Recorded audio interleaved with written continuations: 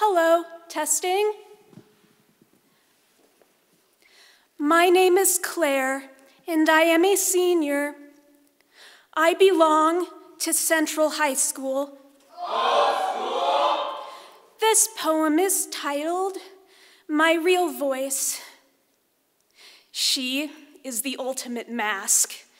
Not one of fabric, sores, or itchy plastic. No, she is the one who's soaking in the sun, greeting good morning, hello, what a bright, beautiful day.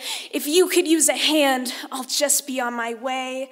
Meeting her eyes with her own pair of blue lagoons, dressed like a monarch butterfly in late June, speaking in the sweet chirps of the meadowlark, approachable, secure, obsidian solid. I am the voice under the mask. No rhythm or bird song, the decibel and frequency that never get along, sentences stuck on a sinusoidal wave.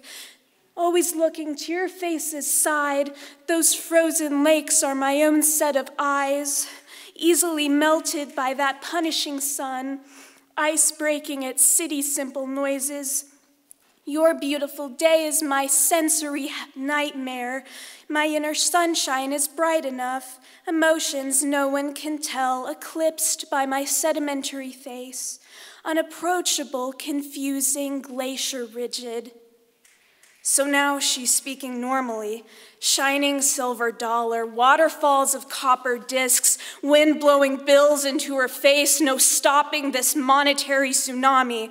She's acting for a salary, but really acting for a living. And now the cost has surpassed her income, debt with an infinite interest rate no economics could repair.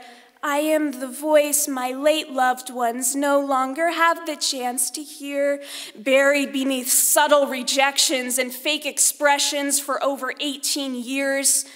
She didn't mean to lie. Following your rules, she only meant to thrive. I do not chirp like a meadowlark, but my head swivels and tilts like one.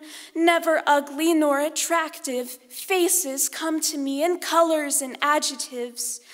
Ask me how I see yours, I guarantee it's something beautiful.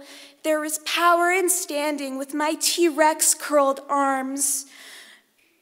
My recall and interest in November 5th, in 2020, my indifference to milestones but joy in the mundane, staring blankly at scholarships, ecstatic at the doodles you wrote in my notebook. My, notebook. my voice is atypical, otherworldly, ethereal, but she is less confusing than her real voice, so less people end up hearing.